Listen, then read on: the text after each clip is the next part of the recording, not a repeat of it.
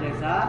Kami akan menjelaskan video singkat tentang Arase atau talas-talasan. Selamat menyaksikan. Selamat menyaksikan.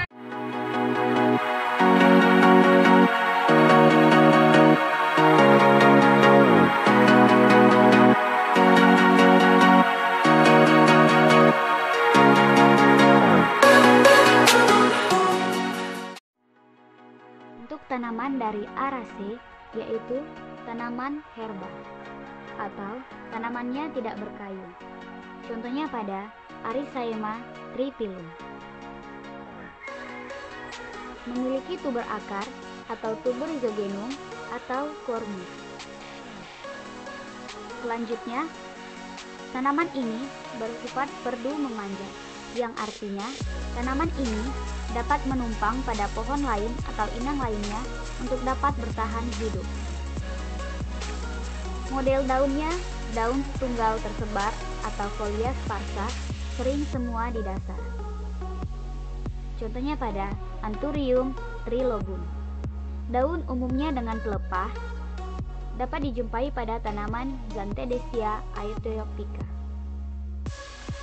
Umumnya pelepah, petiolus atau tangkai, dan lamina atau helaian daun melebar.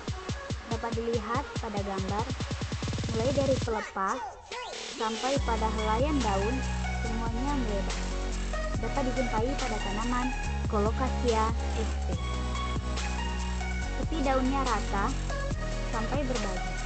Contoh dari tepi daun rata adalah Monstera obliqua. Dan contoh dari tepi daun berbagi adalah Philodendron bipinnatifidum. Sedangkan pada Acorus, tepi daunnya berbentuk pedang.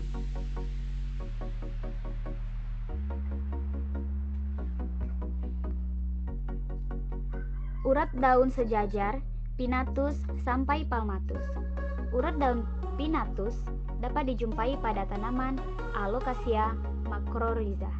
Sedangkan urat daun Palmatus dapat dijumpai pada tanaman Philodendron bipinnatifidum. Sedangkan urat daun sejajar dapat dijumpai pada Acorus calamus. Itu tadi adalah penggambaran dari bentuk Arase. Dan saat ini kami akan memaparkan ciri-ciri dari Araceae. Selamat menyaksikan. Bunga dari suku Araceae dipolinasi oleh serangga, terutama lalat atau angin. Pada gambar ini dapat dilihat bahwa polinasi oleh lalat buah pada Fricasia anolensis. Dan di sini dapat dilihat bahwa polinasi oleh lebah pada Anthurium formosus. Perbungaan spadix yang umumnya dilindungi sepata besar dan sering berwarna, terdiri dari spadix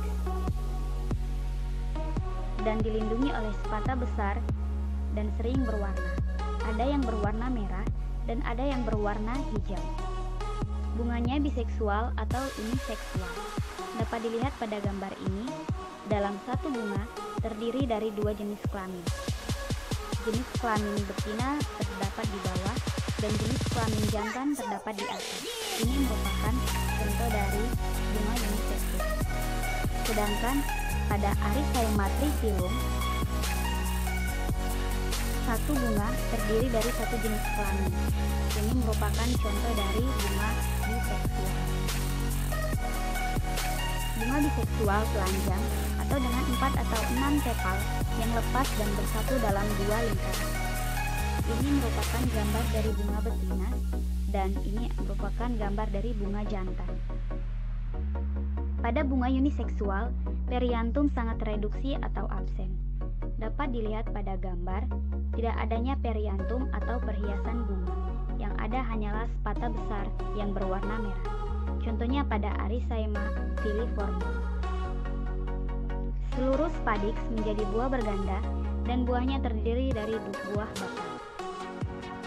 Spadix tadi akan berubah menjadi buah berganda dan umumnya buah tersebut merupakan buah bakar atau daging buahnya tebal.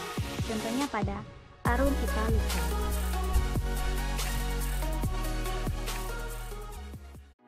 Sampai di sini penjelasan singkat kami tentang suku Arace.